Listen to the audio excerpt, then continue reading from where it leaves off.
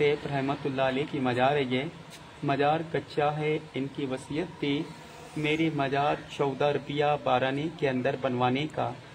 टोपी सिलाई करते थे, कलाम शरीफ की लिखाई करते थे, उसी पैसे में मज़ार शरीफ को बनाया गया। पता नहीं फिर वही वाली बात कि जब भी किसी सूफी संत या मुगल बादशाह के यहाँ पर आए तो ये रहता है कि वो एरिया बड़ा अनडेवलप्ड रहता है।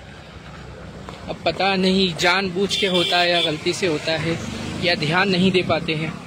इस चीज़ के मुस्लिम इतने ज़्यादा बैकवर्ड हो गए कि जिस भी शहर में जाओ, वहाँ पर वो लोग लेबर वर्क की जितनी भी शॉप्स होती हैं, वो मुस्लिम्स की ही होती हैं। सम्राट औरंगज़ेब के मैं मकबरे पर आ चुका हूँ और यहाँ पर दो चिश्ती सिलसिले के बहुत ही ज़्यादा प्रसिद्ध सूफी हैं।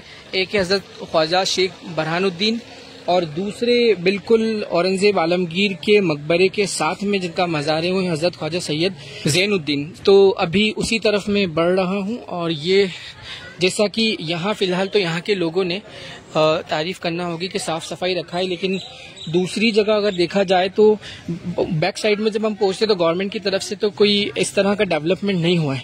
और स्पेशली जो महाराष्ट्र गवर्नमेंट है वो तो औरंगज़ेब का जो शहर है, औरंगाबाद, उसका भी नाम बदलकर संभाजी नगर कर दिया गया तो उनसे तो कोई उम्मीद नहीं की जा सकती कि वो लोग कुछ डेवलपमेंट का यहाँ काम करेंगे। और अंदर की तरफ़ बढ़ते हैं तो इसे सूफियों का शहर कहा जाता है। और ये मैं एंट्री कर रहा हूँ। एक सबसे बड़ी बात ये कि यहाँ पर जो फूल वाले थे, उन लोगों ने एक भी आवाज़ नहीं लगाई कि जूते दर रख दो, वगैरह वगैरह। परेशान नहीं किया। और आप देख सकते हैं कि ये जो डिज़ाइन है ये कहीं ना कहीं सिख आर्किटेक्चर को दर्शाता है और मुगलिया आर्किटेक्चर को दर, दर्शाता है। लेकिन थोड़ा ये सिख आर्किटेक्चर में ज़्यादा मिल रहा है। सामने की तरफ़ एक मस्जिद है ये मस्जिद है और इधर शायद सराय है रहने के लिए है। और इस तरफ़ हम जब जाते हैं तो इधर से गेट से दूसरी एंट्री होगी और I think everywhere is mosque तो ये मेन मस्जिद है। और इस तरफ़ यहाँ पर नमाज़ अदा की जा सकती है, साथ ही साथ बैक साइड में भी। एंट्री गेट एक और है, दूसरा जिस साइड से मैं आया था। और इट वो लग ऐसा रहा था कि जैसे ये कोई मकबरा हो, पर हकीकत में ये मकबरा नहीं है। ये दरगाह शरीफ में इंटर होने का, मकबरे में इंटर होने का दूसरा रास्ता है। और पूरा कब्रिस्तान, इसके रेनोवेशन की बहुत ज़्यादा ज़रूरत। लेकिन वही बात की गवर्नमेंट ऑफ़ इंडिया हो या महाराष्ट्र गवर्नमेंट हो, इस पे ध्यान देने की तो उम्मीद दोनों से नहीं है। तो यहाँ के लोग अगर थोड़ा तालीम याफ्ता बने और कुछ करें, क्योंकि बैक साइड में ये बहुत सारे विकास की ज़रूरत है रेनोवेशन की ज़रूरत है। और बिना गवर्नमेंट के सपोर्ट के ये मुश्किल है। या तो फिर मुस्लिम्स खुद ही एजुकेटेड हों, तालीम याफ्ता बने और प्रशासन का हिस्सा बने तो यहाँ पर कुछ हो सकता है। आमतौर से ये होता है जनरली कि सभी मुस्लिम्स जो हैं, वो अपने किसी खानका से ताल्लुक़ रखते हैं तो वो खानका के गद्दा नशीन बन जाते हैं, उन्हें तालीम हासिल करने की ज़रूरत नहीं रहती। उनका जो जीवन यापन उससे चल जाता है। इसी तरह से जो होटल वाले हैं, वो होटल तक ही सीमित रहते हैं, वो अपने पिता के बाद में होटल का ध्यान रखने लग जाते हैं। और इसी तरह से मैकेनिक हो, ड्राइवर हो, उनको विरासत में जो मिल जाता है, वो उसे एक्सेप्ट करते हैं और उसके बाद में फिर वो आगे बढ़ने की कोशिश भी नहीं करते।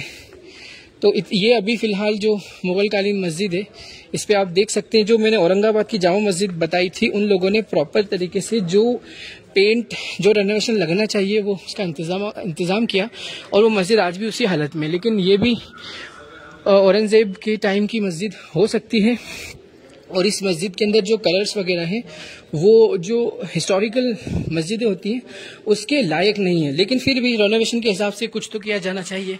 जब गवर्नमेंट सपोर्ट नहीं कर रही है तो इतना भी हो जाए तो ये भी काफ़ी होता है। तो ये है औरंगज़ेब आलमगीर रहमतुल्लाह अलैह का मज़ार। और इस्पेशली आपने ये वसीहत की थी, आपके जितने भी जनरल्स थे और आपके ख़ानदान के लोग थे, कि आपका जो मकबरा है, वो बहुत ज़्यादा एक्सपेंसेस करके ना बनाया जाए। बिल्कुल कच्ची कब्र हो, जैसे आम इंसान की होती है। और लगभग आपने जो टोपी और कुरान शरीफ लिखकर जो पैसे जमा हुए थे, उस पंद्रह रुपये में आपकी इस कब्र का और जो आसपास का काम है, वो हुआ था। एक दूसरी चीज़ आप ये देख सकते हैं कि उसके बाहर फिर आपके विशाल के बाद ये मुगल कालीन स्ट्रक्चर अलग ही दिख रहा है। क्योंकि हम किसी भी मुगल कालीन स्ट्रक्चर में जाते हैं तो यही डिज़ाइन होता है। गुजरात सल्तनत की डिज़ाइन अलग है, अहमदनगर सल्तनत की डिज़ाइन अलग है, उनकी लगभग सेम होती है। और दूसरी एक बड़ी बात यह कि जो मुगलिया सल्तनत की डिज़ाइन से उसमें मिंबर जो पिलर्स होते हैं, वो काफ़ी दूर होते हैं और चौड़े होते हैं और साथ ही मेहराबें बड़ी और चौड़ी होती हैं।